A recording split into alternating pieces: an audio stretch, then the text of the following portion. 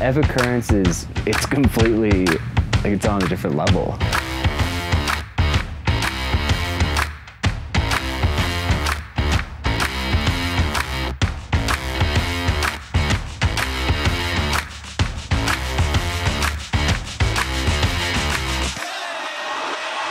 I wanted to come to Epic because of the people. I heard that there was a lot of support and transparency with a group of people not in a conference setting. A lot of the magic of what happens in conferences is between the sessions. Here, you're like in between a session for five days.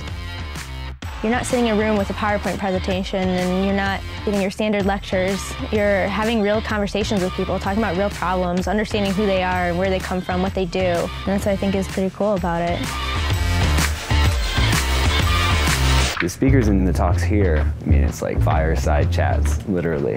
I think it's a lot more intimate, being able to actually ask questions and to be able to have them be real about stuff. There's that engagement, everyone's on the same level. There isn't like a fancy stage. I think that's what makes people give the honest answers. And what was amazing about it is afterwards, it was a catalyst for an increase in conversation amongst everyone else that you were with. You get to hang out with them dirt biking, rock climbing. You are making like personal connection with them. You'll do something that's out of your comfort zone. You're just having a blast.